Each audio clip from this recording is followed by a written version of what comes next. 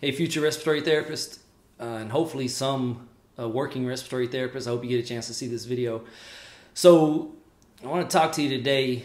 So, uh, first of all, no information, educational information for you students.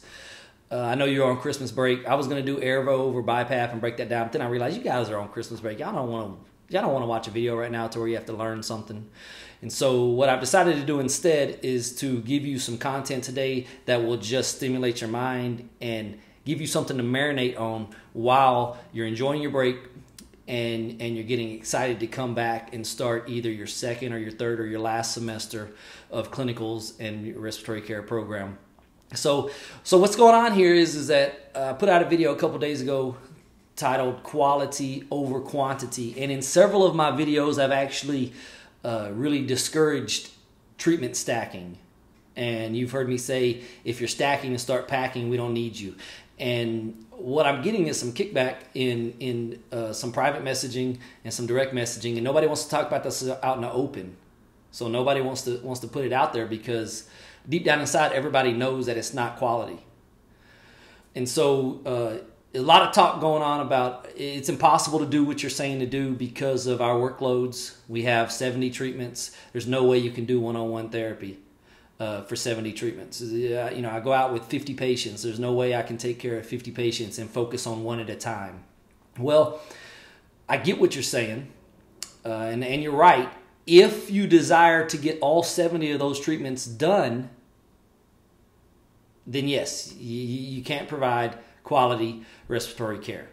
Now, if you go out there with the mindset of I'm going to do as many as I can at a high quality level, and I'm going to triage appropriately, triage meaning I'm going to uh, miss therapy that may not be indicated, uh, then you can do it with 70 treatments. Now, I tell you that because I know you can, because I do it. Okay, so so you can give me 80 treatments. You can give me nine, you can give me 170 treatments. I'm only going to do about 40 to 50 of them, depending on the day and depending on what that, that workload looks like. Okay. And someday it may even be less than that, depending on the workload. So I realize that this is a problem. And the reason this is dear to me and the reason I'm talking about this today is because the, the, the field of respiratory therapy, when it comes to workloads and quantity mindset being greater than quality mindset is because we created this problem. Us respiratory therapists. I was a part of creating this problem. It saddens me to, to, to, admit that, but if I'm being honest with you, I have to tell you the truth. There was a time in my career, early in my career, where you could give me however many treatments you wanted me you wanted me to have, and I would get them all done. Okay? I, we would leave in the morning. Me and my boys head out, go get your treatments done. We'd be done by eight o'clock at breakfast by eight o oh five. At ten o oh five, we'd get up from the from the cafeteria table and then go out and start our next rounds and be back at the cafeteria table at twelve for lunch. And and that's the way it was. And the result of that is where we are today. So having been a problem, a, a, a piece of the, the, the, the formula that created this problem, I now feel like I need to be a piece of the formula that helps to solve it. Okay? So the question really comes back to this How did we get to workloads, uh, the, these outlandish workloads? How did we get to taking care of 50, 60, 70 patients or having workloads of, of 60, 70, 80 treatments at a time. Some of you may be watching this video going 70. I wish I had 70. Hell, I'm going out with, with 90. I'm going out with, with 70 patients on six different floors. And and you're right. You probably are. So how did we get to this problem? Well, we got to this problem by focusing on quantity over quality a long time ago.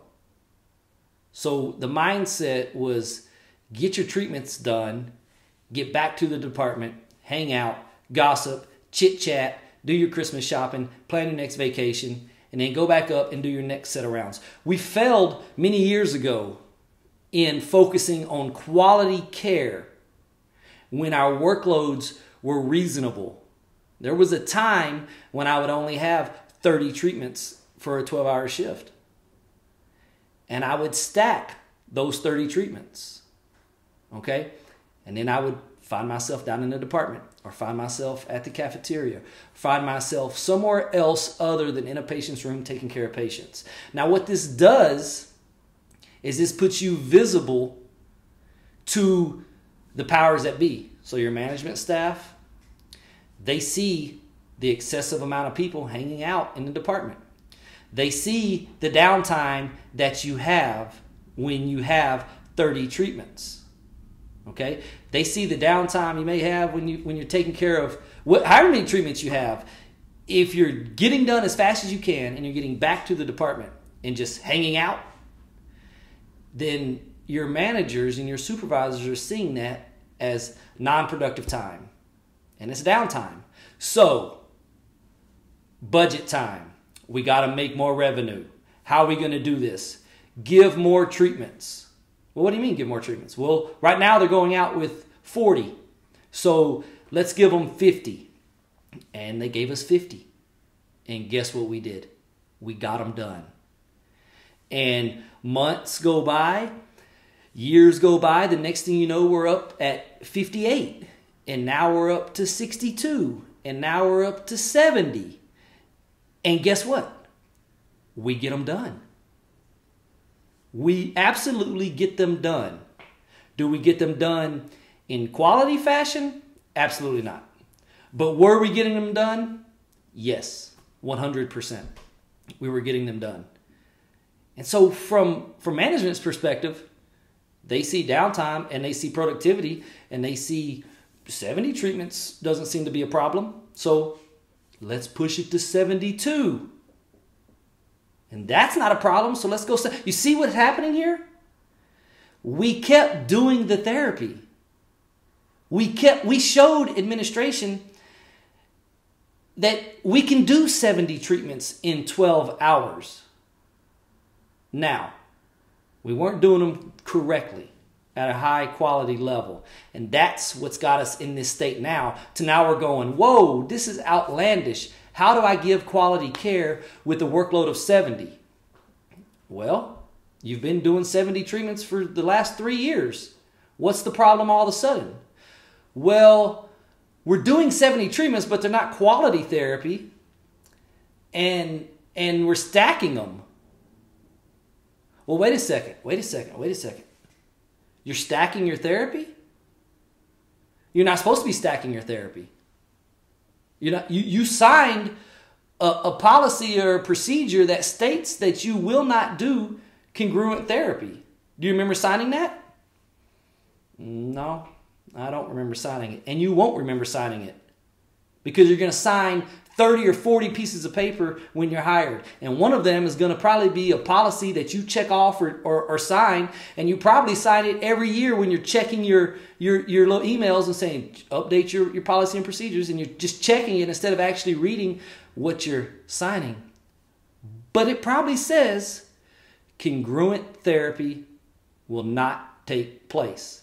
Now, there's a small portion of this where there may be a congruent therapy procedure that makes it okay to do two treatments at a time. And if you're following that procedure, then okay.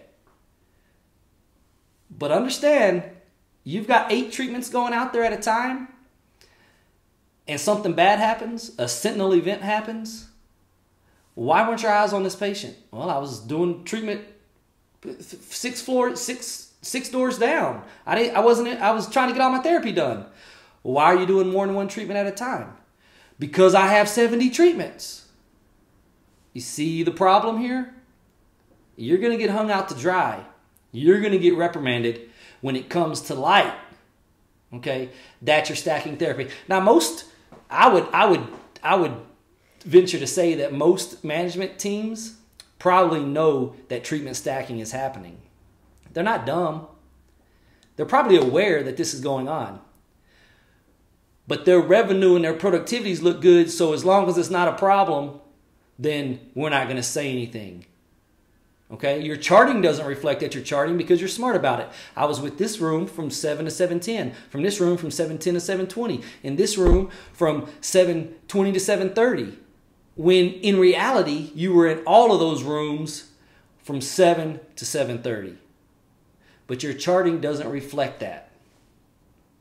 Why not? Because it's fraud.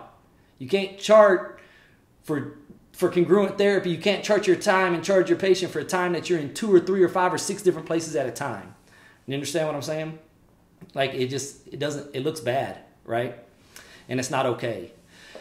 So that brings us to where we are now. Like how do we get how do we that's how the problem evolved and that's where we are now. And that's a problem that some of you may go out and find yourself in and you're going to have to figure out how do I stay true to quality respiratory care? Well, first of all, if you find yourself with 70 treatments and you only do 40 of them and you do them quality care, one-on-one therapy, and you're working from 6:30 to 7 nonstop, and you do 40, and your manager says, "Why'd you only get 40 treatments done?" Then your charting accurately reflects that I did one-on-one care because I signed a policy that states I won't do congruent therapy. Okay? That's your first line of ammunition. Now, the second line of ammunition is much harder because to truly fix this problem is going to take a collective effort on behalf of all respiratory therapists that are going to make a conscious decision to slow down and do 40 quality treatments as opposed to 70 quantity mindset treatments. You're going to have to slow down. You're going to have to get out of the break room. You're going to have to get out of the cafeteria. You're going to have to become invisible to your management staff. So when they see and they look around, they realize that their staff is out working all the time.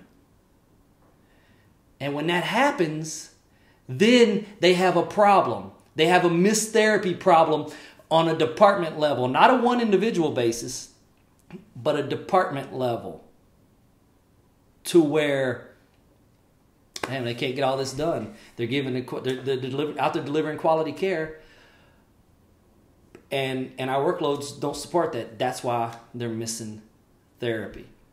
Okay. Now, when I talk about this, I want to give you something else that came to light to me here in the past couple weeks, and I was uh, involved with a with a, a day at a pediatric hospital, and it came to light in this conversation that this pediatric hospital despite being half the size of the adult hospitals in the area. Almost, uh, seriously, almost half the size of the adult, other surrounding hospitals that are adult hospitals. They had the largest staff. On any given day, they have 18 to 24 to 26 respiratory therapists covering approximately a 400 bed hospital. Okay. And I pointed this out. I said, it blows my mind that y'all are half the size of these adult hospitals Yet you have the largest staff in this area. And the person running the, the meeting said, Why do you think that is? And the answer was was what I knew it was gonna be. And her answer was was this is a pediatric hospital and we do not tolerate congruent therapy. It is a policy that no two treatments will happen at the same time. Every therapist will take care of one patient at a time. And she said that's why we require such a higher level of staff than what the adult hospitals require. And it came to light of me in that moment. And I actually got pissed off because I asked myself, when in this world did we decide to separate the standard of care for pediatric patients versus adult patients? When did a pediatric life become more deserving of quality care than an adult life. Okay? Well, they're kids. I know they're kids. These are people too. These are moms, dads, sometimes sons and daughters, just like these. These are wives, husbands. It's, it's all a human life. And why are there varying standards for what's acceptable in a pediatric hospital versus what's acceptable at an adult hospital. That blows my mind. If you have any insight into it, I'd love to hear it. Uh, but I wanted to share that with you because I think it's very interesting to our approach to adult health care. Okay? So let, let's talk about what a workload, a feasible workload would look like. And to do that, we're going to break the day down. So your shift starts at 6.30 and it's over at, se- that says 0700. That's not right. That's actually 1900. So it's from 6.30 a.m. to 7 p.m., okay? Maybe you work night shift and you work 6.30 p.m. to 7 a.m. It doesn't matter. You're basically working from 6.30 to 7 if you're working a 12-hour shift in a hospital. Now, that's actually 12 and a half hours. It's 12 and a half hours because they give you a half hour for lunch. So now you're back down to 12 working hours. Now you got to give report and you got to get report. And I don't care what you say, a quality report, which you know I'm going to talk about quality, should last ballpark 15 to 30 minutes. So we're going to do report times two is going to take away 30 minutes for each, is going to take away an hour from your day. So now you're left with 11 hours. You should get a 15 minute break in the morning time, another 15 minute break in the evening time or, or, or, or early or late afternoon, depending on when you take your lunch. That's another half hour that is yours. That's not working half hour. So that leaves us with 10 and a half hours. 10 and a half working hours. How much therapy do you think you can actually get done at a quality level in 10 and a half hours? Well, I venture to say that that one therapy from start to finish, average, I would give you 15 minutes. Now, some of you may say 12, some of you may say 10. I'm not agreeing with 10. Okay, I might would agree with 12, but let's just go 15. So if you're given 15 minutes for each therapy, sometimes they're going to be longer than that, sometimes they're going to be shorter. So remember, I said average 15 minutes. Then you're talking about four therapies in an hour. And if you're working for 10 and a half hours, which you should be, okay? It's not, it's not, I'm only, I'm here for 12. I'm going to give therapy for eight and I'm going to sit around for four I'm going to shop or I'm going to plan my vacation or I'm going to gossip or, or, or, or whatever. You're there working. You should be working for 10 and a half hours, taking care of patients, evaluating patients, collaborating with your nursing, collaborating with your physicians, hospital rounds. All of that stuff comes into that. You should be involved somehow with some type of patient care for the 10 and a half hours of your day. Okay, so four treatments that includes pre assessment treatment time, post assessment, and charting is all included in that 15 minutes. Okay? If you're doing 60 treatments and you're down in the department at 5 o'clock and you're charting from 5 to 6.30 or 5 to 7, again, you're visible and you're available to help someone else. Well, I'm charting. You can chart when you get done. That, that never works out good. Okay? So figure out a way to chart while you're doing your therapy. That comes with challenges. Not every place, not all charting is created equal, but you got to find a way. And if that's part of the problem, then that's a platform for you to approach this mindset. 10 and a half working hours, four an hour. That leads us to, so 10 and a half times four is roughly 42 treatments in a 12 hour shift that I believe you can administer in a quality fashion. Okay, I say that because I do it. This isn't something I'm just pulling out from randomly. I'm telling you. That's feasible. Now, of those 42 that you go out with, some are going to go home. Some are going to come in. You're going to have some stat calls. That 15 minutes per treatment accommodates most of that. Now, not all shifts are created equal, and some days you're just going to get your ass kicked. Okay? That's, that's the end of the story. Other days, you're going to make a lot of money for doing very little work. All that evens out in the end. But on an average day, about 42 treatments, you can go out and take care of those treatments and those patients in a high quality fashion. Don't tell me it can't be done. It's going to take a desire to be better than average, a desire to break away from the, the, the, the habits and the trends that have developed over the years. And it's going to take a collective approach to get back to this mindset of quality over quantity. Hope you're enjoying your break.